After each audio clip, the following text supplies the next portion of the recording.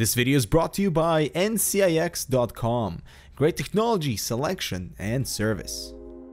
Hello everyone, this is Dmitry with Hardware Canucks and the trend for slimmer and more powerful gaming notebooks is only getting stronger and late 2014 saw a few gorgeous looking machines that pack a lot of gaming potential for those needing a mobile workstation. So Aorus, a sister brand from Gigabyte, emerged last year to wow everyone that finally seems to challenge competing offerings from Alienware and Asus, is at it again with an insane spec sheet and has promised absolutely outstanding performance performance. This is the Aorus X7 Pro. At 2.5 grand you better expect all top of the line specs and that's exactly the story.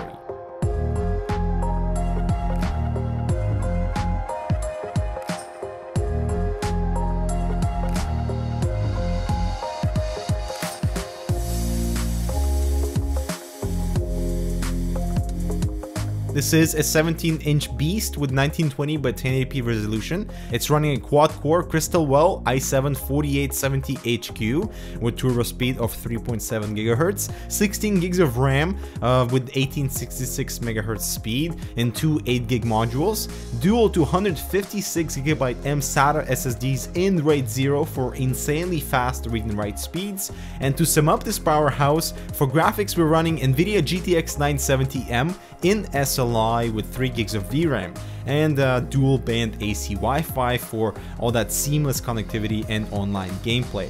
The machine is impressively thin at 22.9 millimeters and for a 17 inch form factor, uh, surprisingly light as well at 6.6 pounds or 3 kilos. The top shell is metal with some minor but noticeable hints of gaming elements like these protrusions and uh, cross-like silver coating at the front of the lid along with the silver Aorus logo in the center that does not illuminate. I love the design elements of the exhaust ports at the back that also span the sides a little bit. And here we get some ports at the rear with two USB 2.0 ports and an AC power plug. The location of these two USBs is awesome for plug and forget devices. I for example kept my mouse and the portable DAC at the back to keep the sides clean. Coming around to the left side, there's a Kensington lock, gigabit ethernet, an HDMI and a VGA output for GPU number 2, a lonely USB 3.0, and a dedicated headphone and microphone jacks. The front of the X7 Pro looks a little bare, uh, aside from the notification and activity lights on the right, uh, and one thing missing is an optical drive, but this seems to be an obvious omission to keep the slim profile. Finally, on the right, there's an SD card reader, two more USB 3 ports, HDMI, and a mini display port for GPU number 1. Opening the lid, we are presented with a gorgeous 17-inch 1080p IPS 60Hz display with a 1 megapixel uh, webcam and dual mics above with excellent viewing angles and awesome color and contrast. And we might question why Aorus did not include a high resolution panel on here considering the capable horsepower, but 1080p is that sweet spot for gamers and to keep up with reasonable performance levels, this was kind of an obvious choice. Despite how thin the screen panel is, flexing wasn't as terrible as I was expecting. However, this is a review model that has been passed around and I noticed a slight disattachment of the screen frame from the actual LCD in one of the corners. So perhaps for the next model, a stronger and more reinforced frame should be considered. The interior of the X7 Pro is black aluminum that manages to hide any handling or sweat marks. The lit up Aorus power button is just subtle, but still, I haven't decided whether this is an eagle with an open mouth or an eagle with a flexing arm. So let us know which one you see first. And the surrounding ventilation is not a speaker, but acts as an intake port for the two fans inside. And in fact, the stereo speakers are spread on each side at the bottom and make sure to have a solid surface to balance the audio uh, with extra bass ports on the left and right with overall really weak projection. Uh, headphones are a definite must for this one. Let's take a listen.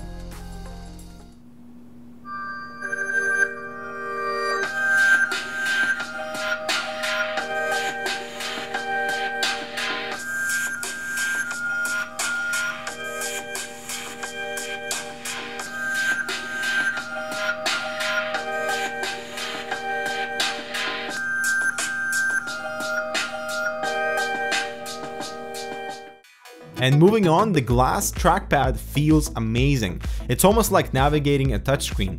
However, the left and right clicks are extremely difficult to press. For some reason, the two finger tap is not available to imitate a right click, and the tracking surface starts from the top of the center line, thus reducing the total useful perimeter of the touchpad. This is especially annoying when two fingers scrolling and as you pass the center line, tracking stops and that's uh, very annoying.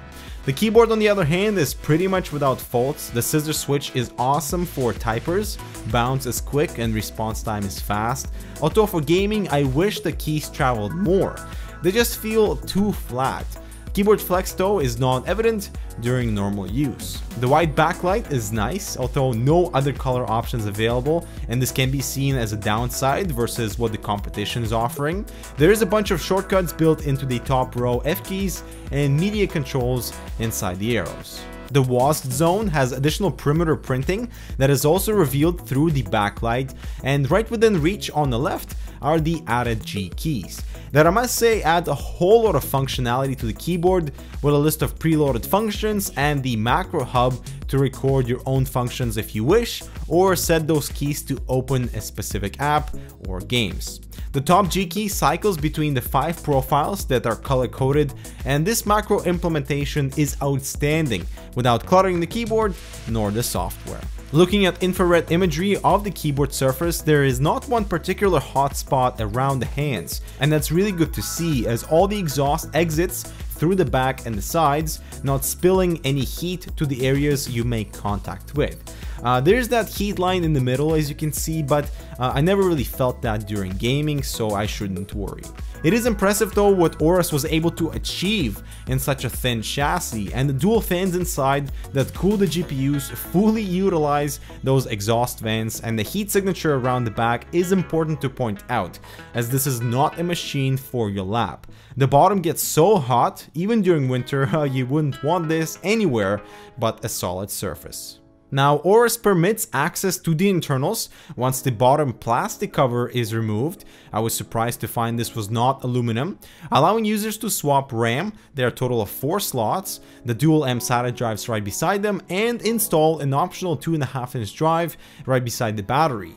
That is proprietary by the way, but still great to see this machine is configurable in a way. And finally, it's time to take this bad boy for a spin and see whether or not we've come to a point of true desktop replacement type performance. First of all, RAID 0 speeds are impressive, reaching almost 1 GB per second for reads and staying in those high 700 megabytes per second for writes. When the stealth mode is active in the Aorus control hub, the CPU clocks are capped at 1.5 GHz, so expect a significant drop in performance, while the auto low and auto high both reach the 3.7 GHz turbo, no problem. I did all my gaming tests in SLI and maxing out everything I could and was completely blown away with the results I saw. Bioshock Infinite averaging at 144 frames is outstanding and played through Borderlands pre-sequel averaging at 136 frames with physics at high. Following Lords of the Fallen at 78 FPS looks absolutely gorgeous and so does Metro Last Light. I was surprised to see how well that performed with 66 average frames. Battlefield 4 at Ultra preset with a field of view at 90 kept me uh, so close to 100 frames on average and Middle Earth Shadow of Mordor was also playable on the Ultra preset. And lastly Crysis 3 on very high 8x MSAA uh, and still we hit 48 frames on average that delivered total playable settings with even smoother performance potential, you know, once you dial those settings to high or medium. However, all this performance means heat, and you will find the X7 Pro loud, extremely loud on anything other than the stealth mode during gaming. This is also a good indicator of how weak the speakers are, letting the fans overpower the audio. Uh, you would require headphones for gaming for sure, and also truly patient people around when the fans ramp up. So let's take a listen. Alright, so this is what the machine sounds like when on idle. It'll most likely be dead silent, the fans don't kick in uh, unless you are watching maybe YouTube videos, uh, but generally browsing the web, uh, and you're doing something on Word, anything on Microsoft Office, it will remain completely silent. But let's kick it into high gear, uh, launch some games, and you'll hear exactly how loud this thing can get. And now let's launch a benchmark, see how fast the fans ramp up and uh, how loud they get. I'm holding the recorder about uh, the distance where your head would be if you were to use the laptop.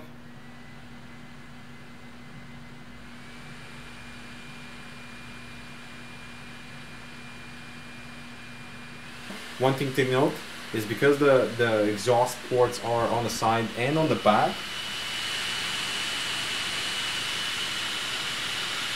if you're placing the, the notebook against the wall, it will actually bounce all that audio back into you.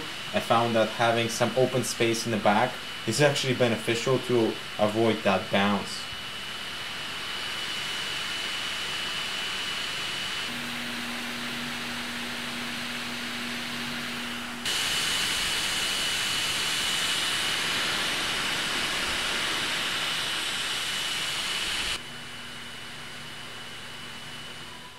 And while I've never experienced any shutdowns with the CPU at 90 degrees and one of the GPUs hitting a whopping 99 degrees Celsius while I was on vacation in Panama, but upon more testing on my return to Toronto, uh, GPUs barely hit 90 degrees Celsius. But still, Aorus needs to work out a better cooling system as such temperatures don't really reinforce confidence in hardware lifespan. Now with that said, I am happy to report no CPU nor GPU throttling even with such high temperatures, and that is a very good feat to maintain consistent performance. Lastly, I did not even try to game on battery as this is not what the X7 Pro is designed to do.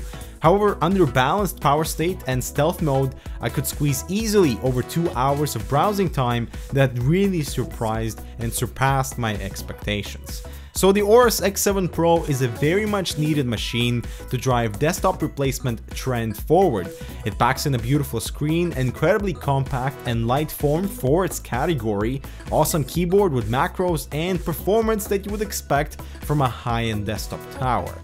However, the four elements that still need to be significantly improved is more efficient and quieter cooling, reinforced screen lid to avoid the LCD from popping out, better speakers, and improved trackpad that feels fantastic to the touch but lacks the proper functionality. Now you tell us if this appeals to you as far as price to features to performance is concerned, because performance is there, but Aorus just needs to figure out and focus on execution of those other details that we've mentioned.